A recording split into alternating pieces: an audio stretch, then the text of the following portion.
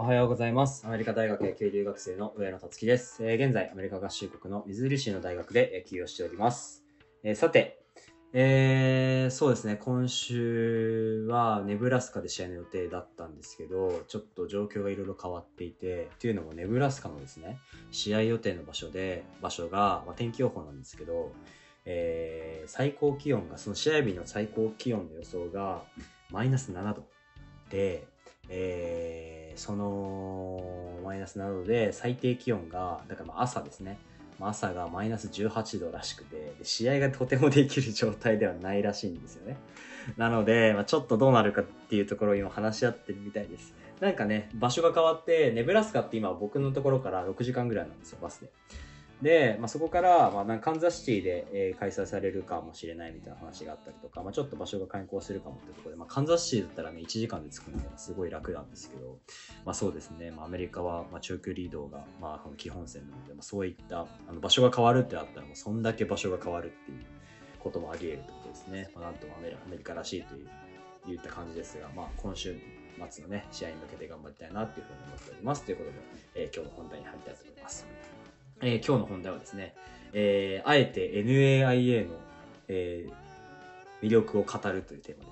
お話しさせていただきたいなというふうに思います。まあ、えーっとですね、まあ、これはどういうことかというと、まあ、アメリカには、まあ、いろんなリーグがあるんですよ。で、まあ、えー一番大きいのがやっぱり NCA 全米全米体育協会ですね。で、えーで次に NAIA で、まあ、あとは2年生大学のリーグですね NJCA とかあと CCCA とか、えー NWAC と言われる LWAC ですね、まあ、ここら辺が、まあ、アメリカの大学野球のリーグと言われるような、えー大きなくくりになるんですが、まあ、その中で、まあ、4年生大学のリーグがさっき言った NCA っていうところと、えー NAIA というリーグだとで、僕は今、えー NCA ではなくてですね、えー NAIA っていうリーグで野球をしているんですね。で、まあ、なんて言うんだろうな。そのまあ皆さんが、皆さんみんな、みんなが、みんなが大体目指すのが、まあ、NCA の一部リーグですね。一部リーグで、ディビジョン1と言われる、えーこの前もラジオでお話しした、あの、西田陸選手とか、大山丈一郎選手とかが活躍している、まあ、リーグですね。まあ、そこらに、まあ、みんな目指してるんですけど、まあ、そういった中で、じゃあなぜ NAIA なのかみたいなところで、まあ僕が NAIA に属しているわけなので、まあ、そこをちょっとお伝えしたいのと、まあ、そこの魅力ですね。を、まあ、なんで、じゃあ、え2年生大学から編入編入するときに4年、4年生大学を選ぶときに NAIA なんだっていうころで、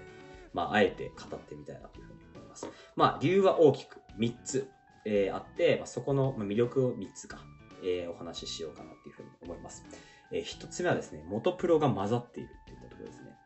えーまあ、この前、あのすごくあの、まあ、強かったいいチームがあったよってお話ししたんですけども、まあ、その中の先発ピッチャーがまあ95マイルぐらい投げて、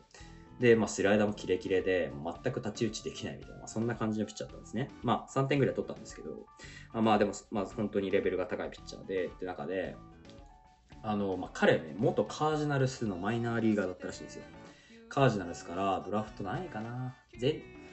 ドラフトで20位ぐらいかな。20位ぐらいで指名されてでカージナルス行ってで、まあ、23年かな。23年 2A とかで 1A とか 2A でやってで辞めてでそこからまた大学に入り直して、まあ、NIA のチームで野球やっていたっていう感じなんですね。でなんでそれがすごいかというとあの基本的には元プロは大学野球しちゃいけないんですよ。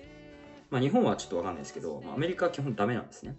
で、NCA のリーグが基本のを出してて、あのーそれに関して言うと、まあ、NCA に属してたら、まあ、元プロと対戦はできないんですね。で、あのーそれで言うと、まあ、NAI にいると、あのーすごい、ね、元プロのピッチャーが、まあ、たまに混ざっていて、まあ、そういった人たちと、あの、対戦ができるよと。まあ、そういったところが、まず一つ、あの、NAIA の魅力をあえて語るとするなら一つかなというところですね。で、二つ目、まあ、これが一番大きいかもしれないですね。えー学費が安いっていうところですね。で、NAIA っていうのは基本的には小規模な大学の群なんです。小規模の4年生大学群として、まあ、使われることが多いんですね。なので、まあ、小規模、大学の規模が小さいということは、まあ、要は、あの、学費が安かったりとか、まあ、そういったことが起きてくるわけですね。で、まあ、学費が安いと何が起きるかっていうとですね、まあ本当に、あの、少額の奨学金で、あの学費を賄えていける自分で生活できていけるっていったところなんですよねであのこれがすごく、えー非常に重要だと野球留学生活を、えー送る上で重要だと思っていてでやっぱりその、まあ、どんなにあのやる気があったとしてもやっぱり経済的理由で野球留学を諦めてしまう方って、まあ、少なくないんですよ、まあ、そういった中であの、まあ、野球留学をして4年間大学を卒業するっていうことが、まあ、ある種の一つのゴールとしてあるのであれば、まあ、そこに関してはあの NAIA の理由を探しての中の大学を探してであのーしっかりとオファーをもらっていくと、まあ、そこでオファーをもらうともともと少ない学費プラスアルファであの奨学金が出るのであの僕みたいな全額奨学金みたいな形で、え学校に通える可能性が高くなると、まあ、そういったところですね、まあ、そういったところであのーまあ、一つ魅力的なんじゃないかなっていったところです。まあ、これが二つ目ですね。まあ、僕は本当にこの恩恵をまさに受けていて、あのーなんていうんですかね、あのー本当に NAIA っていうあの枠組みが存在したからこそ、今もこうやって野球が続けられていて、えー学費もね、えー少なくて済んでいるので、あのそういったところは、あの本当に、あのーまあ、日本人にとってもね、えーいい環境だと思うので、ぜひやって、あの見てくださいということですね。で、最後、え3つ目が、えー外国人が多いっていったところですかね。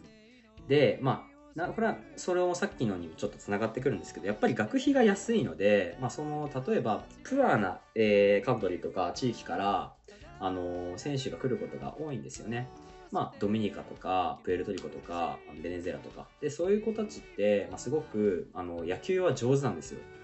で、まあ、そういった中で言うと、まあ、彼らと一緒に野球ができる、まあ、どのチームにもですね主力には必ずドミニカとかプエルトリコ人とか、まあ、そういうやつらがいてその中で、えー今僕たちは試合をしている状態です、まあ、彼らの身体能力って本当にすごくてですね。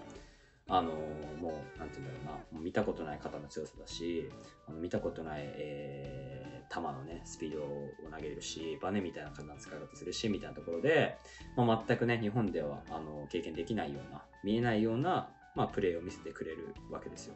まあ、そういった中で、まあ、そういった人たちとプレーできるのはプレーできる可能性が高いのは、まあ、NAIA なんじゃないかなっていうふうに思います。まあ、これはねあの NAIA だけっていうわけじゃないんですけど、まあ、そのさっきの学費の理由とか、まああとその比較的あの入学のあの難易度が低いんですね NAIA の大学っていうのは。なので、まあ、外国人でも割と入りやすいと。で、はい、外国人でも入れる、えー、ESL とか言ったりするんですけど、まあ、そういったとこ、イングリッシュセカンドランゲージって言って、まあ、外国人のための、えー設備みたいなのも、まあ、整ってたりするので、まあ、そういったところで言うと、あの外国人の方が、まあ、アメリカ人以外の、ねえー選手が、えー非常に多いってところで、まあ、一つこれも魅力なんじゃないかなというふうに思います。えーさて、えーいかがだったでしょうか、え3つね、えー NIA のえ魅力をあえて語ってみるということで、えーお話ししてみましたが、まあ、そうですね、ま僕自身はこのなんて言うんだろうなあの NAIA っていう枠組みにすごく助けられた人間なのであの結構ね経済的とか、まあ、いろんなところでいろいろ相談来たりするんですけど一つねあの非常にあの面白いリーグだよっていうところ、えー魅力的なリーグだよっていったところをお伝えしていければなというふうに思っております。ということで今日のラジオでした、えー最後まで聞いてくださってありがとうございました。素敵な一日をお過ごしください。上野達樹でした。じゃあまたね